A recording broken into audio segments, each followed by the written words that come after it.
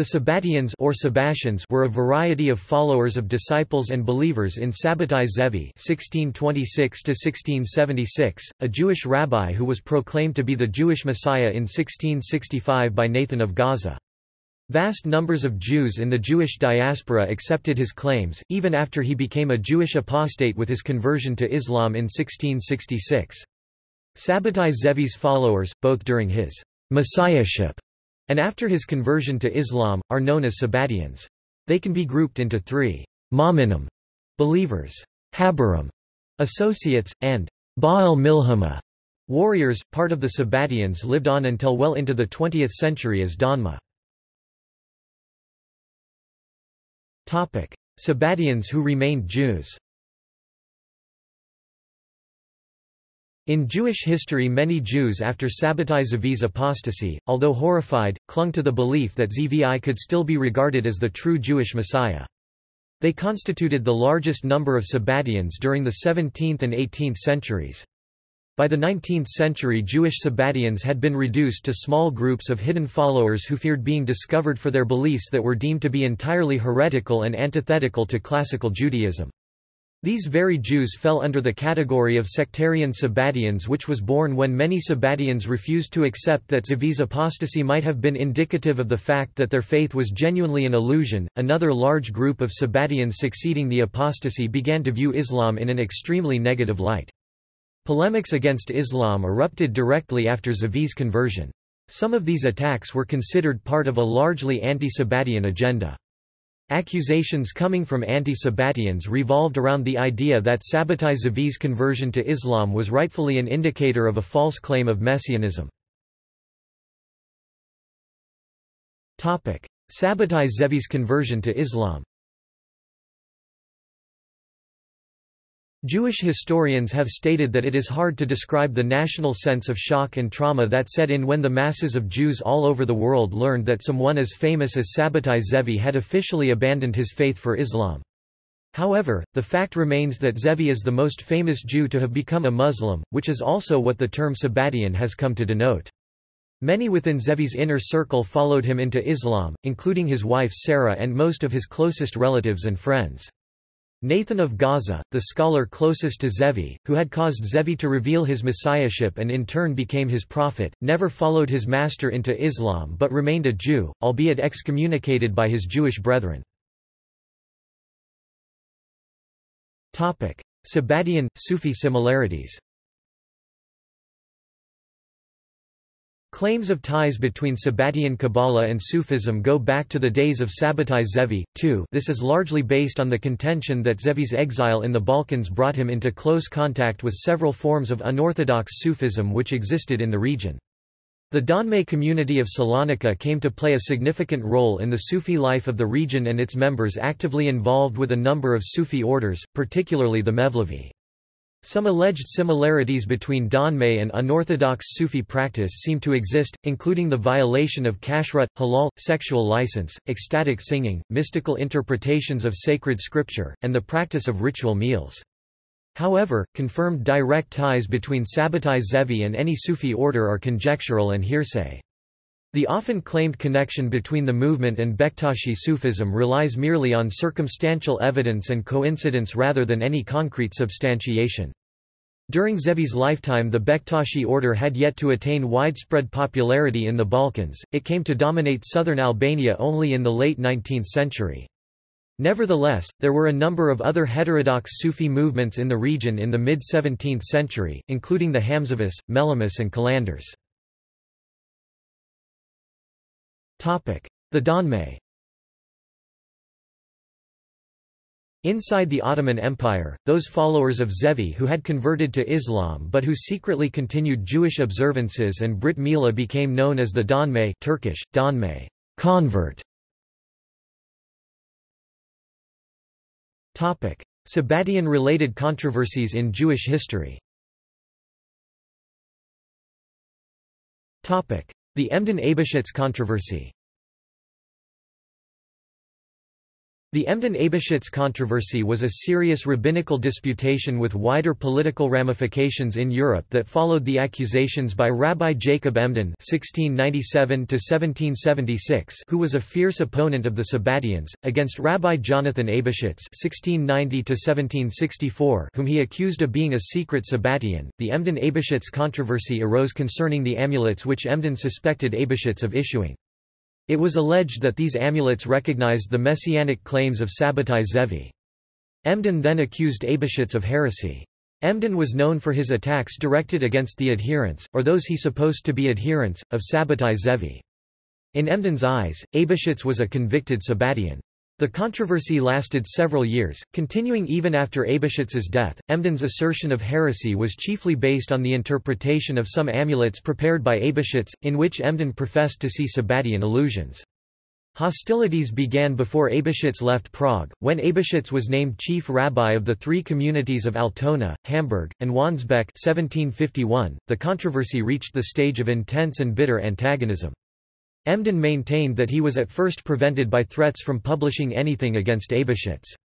He solemnly declared in his synagogue the writer of the amulets to be a Sabbathian heretic and deserving of cherem excommunication. The majority of the rabbis in Poland, Moravia, and Bohemia, as well as the leaders of the three communities, supported Eybeschutz. The accusation was utterly incredible in 1725, Eybeschutz was among the Prague rabbis who excommunicated the Sabbatian sect. Others suggest that the rabbis issued this ruling because they feared the repercussions if their leading figure was found to be a Sabbatian.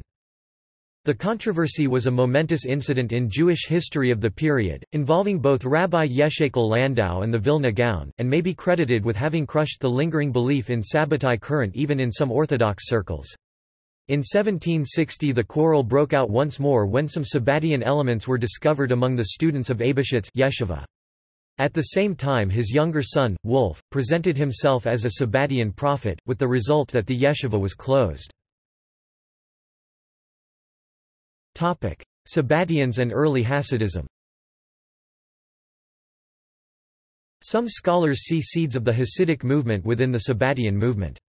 When Hasidism began to spread its influence, a serious schism evolved between the Hasidic and non-Hasidic Jews.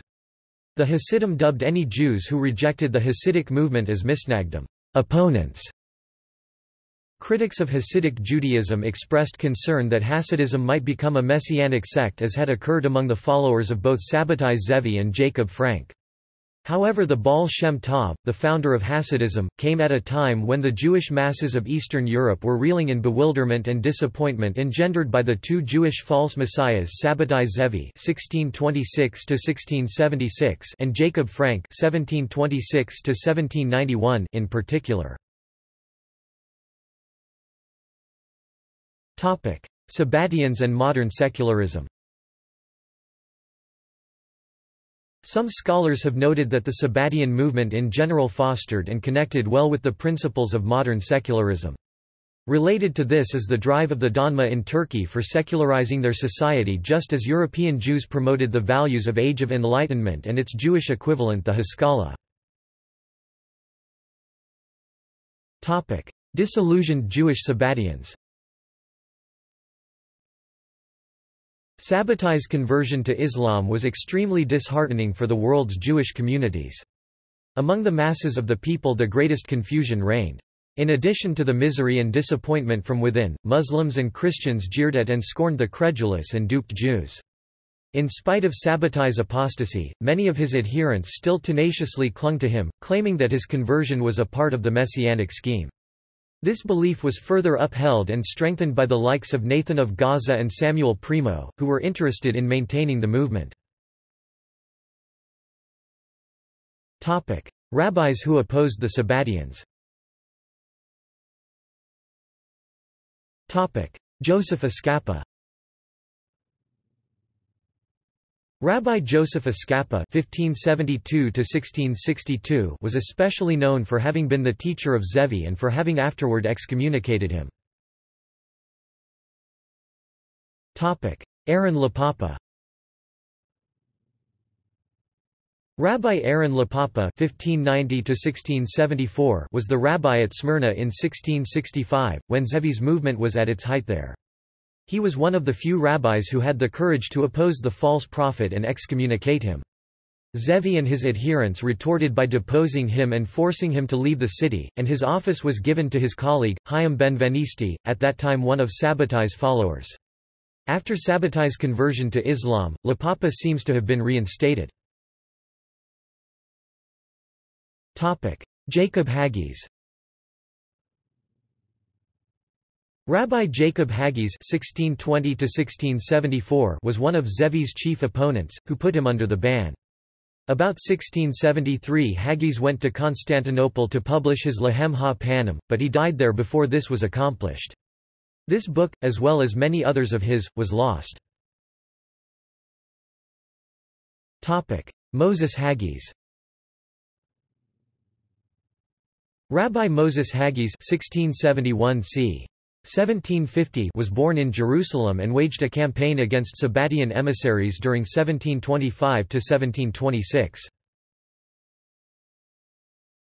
Topic: Jacob ben Aaron Sasportas Rabbi Jacob ben Aaron Sasportas (1610–1698) was one of the fiercest opponents of the Sabbatian movement. He wrote many letters to various communities in Europe, Asia, and Africa, exhorting them to unmask the impostors and to warn the people against them. He documented his struggle in his book Tzitzat Novel Tzvi, the title being based on Isaiah chapter 28 verse 4. He wrote a number of works, such as Toledot Yaakov 1652, an index of biblical passages found in the Haggadah of the Jerusalem Talmud, similar to Aaron Pesaro's Toledot Aharon, which relates to the Babylonian Talmud only, and Ohel Yaakov 1737, a volume of halachic responsa, which includes polemical correspondence against Zevi and his followers. David Nieto Rabbi David Nieto (1654–1728) was the Hacham of the Spanish and Portuguese Jewish community in London. He waged war untiringly on the Sabbatians, which he regarded as dangerous to the best interests of Judaism, and in this connection wrote his Esh Dat London, 1715 against Nehemiah Hayyun who supported Zevi. Tzvi Ashkenazi Rabbi Tzvi Ashkenazi (1656–1718), known as the Chacham Tzvi, for some time Rabbi of Amsterdam, was a resolute opponent of the followers of Sabbatai Zevi. In Salonika he also witnessed the impact of the Sabbatai Zevi movement on the community, and this experience became a determining factor in his whole career. His son Jacob Emden served as rabbi in Emden and followed in his father's footsteps in combating the Sabbatian movement. Jacob Emden Rabbi Jacob Emden (1697–1776) was Talmudic scholar and leading opponent of the Sabbatians. He is best known as the opponent of Rabbi Jonathan Eybeschutz whom he accused of being a Sabbatian during the Emden-Eybeschutz controversy.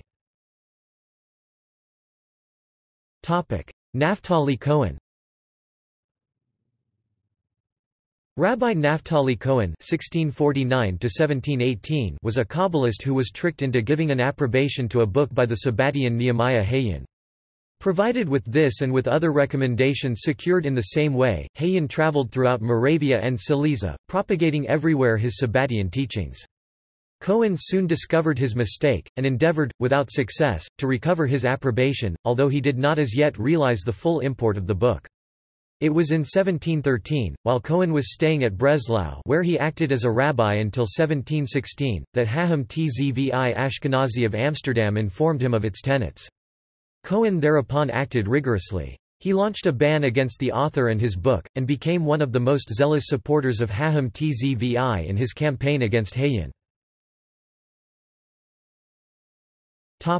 See also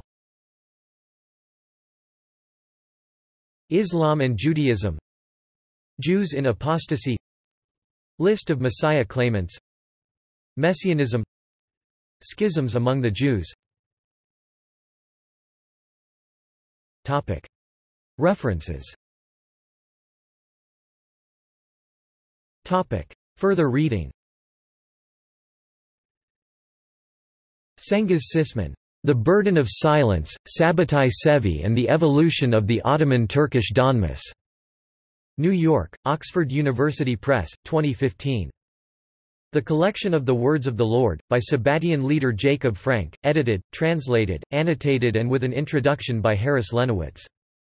The Donmes, Crypto-Jews under Turkish rule The Donme, True Believers, Jewish heretics or untrustworthy Muslim converts Globalization, cosmopolitanism, and the Donme in Ottoman Salonika and Turkish Istanbul A Messianic Epiphany, the conversion of the Donme Sabbatians. The history of naming the Ottoman, Turkish Sabbatians. By Cengiz Sisman, in Studies on Istanbul and Beyond ed., by Robert G. Ousterhout, Philly, UPenn Press, 2007.